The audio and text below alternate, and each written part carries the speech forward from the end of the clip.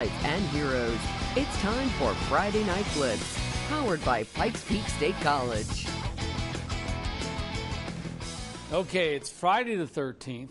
We have 13 games for you tonight on tap, and you're watching KRDO News Channel 13 talk about symmetry. Welcome to the Friday Night Blitz powered by Pikes Peak State College. I'm your host, Rob Namnoun. The Mesa Ridge football team was rolling heading into their matchup with Rampart tonight as the Grizz had won four in a row, while their opponent tonight, Rampart, was looking to start a win streak of their own after winning last week. For more on the Grizz and the Rams, let's join Danny Mata. Hey, Danny, you're in house tonight. You're our house cat. Good evening. Yeah, dude, it's so weird. It's warm in here and all that. It's crazy. Yeah. You know, Rampart had won three straight game, Been kind of a roller roller coaster season for them. They won three straight, lost three straight before coming back in a big way against Cheyenne Mountain last week.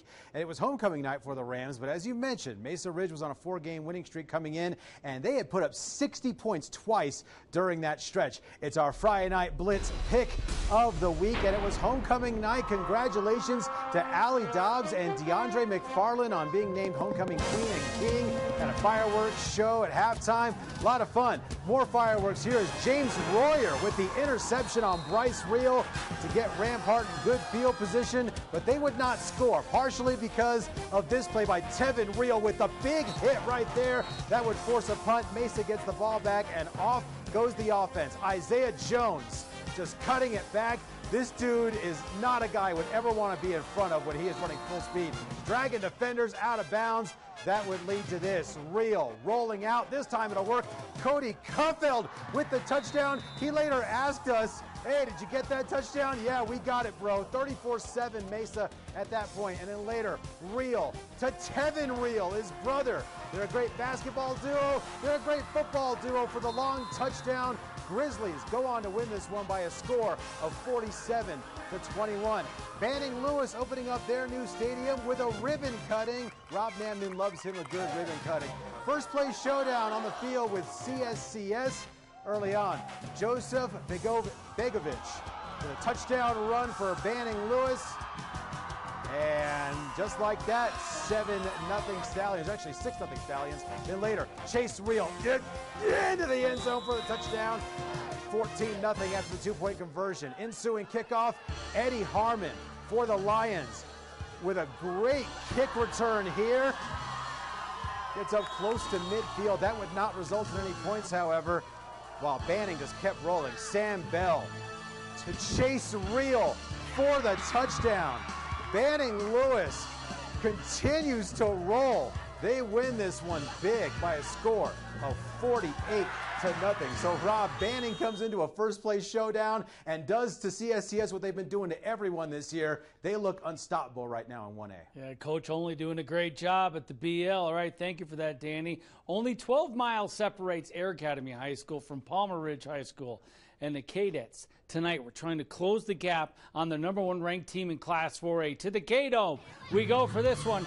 Pick it up in the second quarter. The Bears knocking on the door. Once again, Elvira Elvira goes in untouched, and the Bears would build a 41 0 advantage in the second quarter with 10 minutes to go. Next drive, Gabe Klein taking advantage of an opportunity, hits the hole.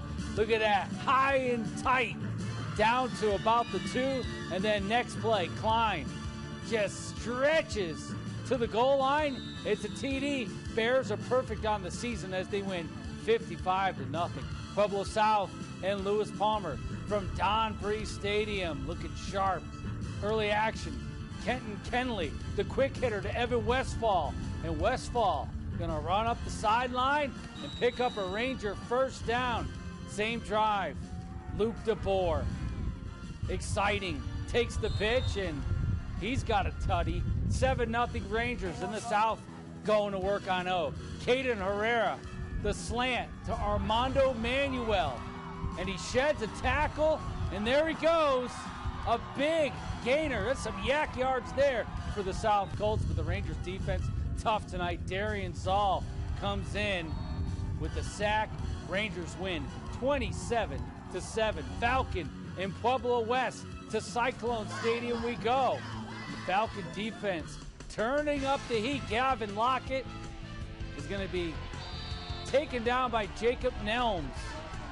And then P. West returning the favorite, Garrett O'Brien.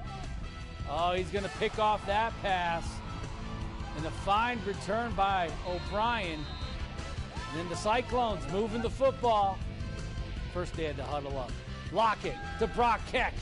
Oh, that's a beauty of a ball. Corner of the end zone, nicely done there. But Falcon, the Falcon Falcons, they would have an answer. Carter Thorpe having a fine season. Going downtown to Ashton Luttrell. And look at that. He wasn't going to be denied till he got into the blue paint. But P-Dub, they would win by a score of 33 to 19. There's more to come in this installment of the Friday Night Blitz, including a matchup between Vista Ridge and Cheyenne Mountain. The Red Tail Hawks trying to put a stop to the Wolves' four game win streak. Could they do that? Find out next.